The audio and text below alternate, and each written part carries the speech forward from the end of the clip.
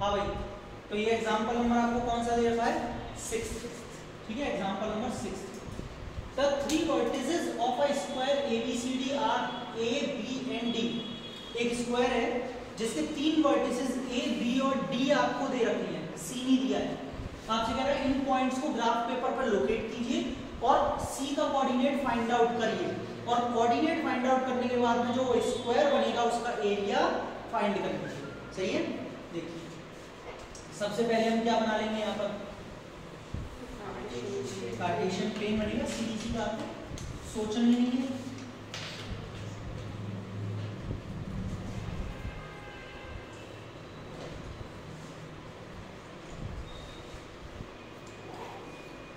चलिए Cartesian plane हाँ बेटा। One two three four one two three four minus one minus two minus three minus four minus one minus two minus three और ये minus सबने बना लिया? चलिए, समझ लीजिए पहले, समझ लीजिए। ए क्या है? Three comma two three comma two Ujjwal. Three और ये टू हाँ बेटा। यही जाएगी उज्जवल? ठीक है?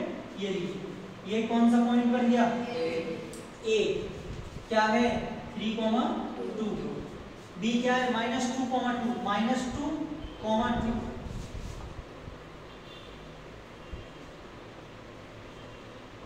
B minus two comma two चलो। डी क्या है? Three comma minus three three comma minus three minus three minus three ठीक है बेटा?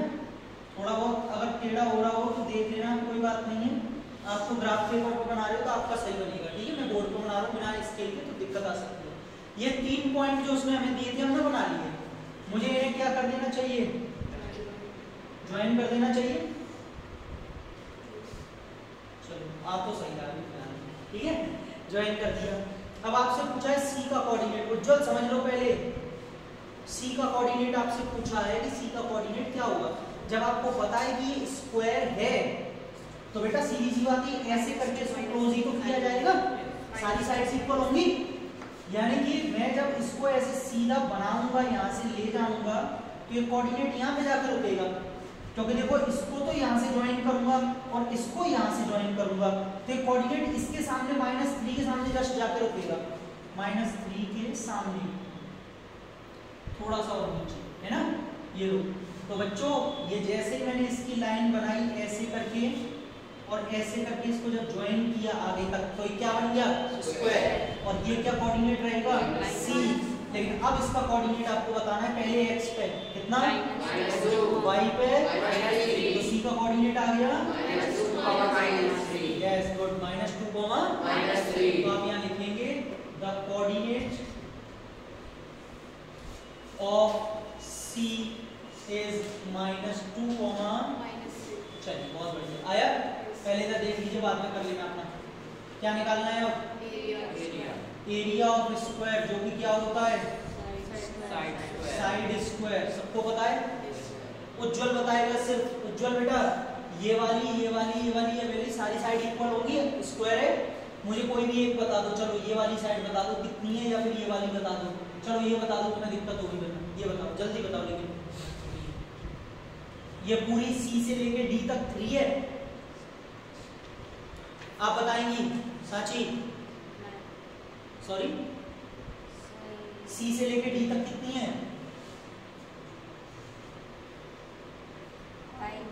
फाइव क्या करते अरे ओरिजिन ये रहा ज़ीरो से लेके कितना चले। और ज़ीरो से लेके कितना चले तो थ्री और टू फाइव करो ना अभी भी तो थोड़ी देर पहले बताया है। साइड कितनी है? फाइव का? कितना? क्या? आधा नंबर कट जाएगा अगर यूनिट नहीं लिखी तो। क्या लिखना स्क्वायर यूनिट एरिया है। चलिए डन नोट कीजिए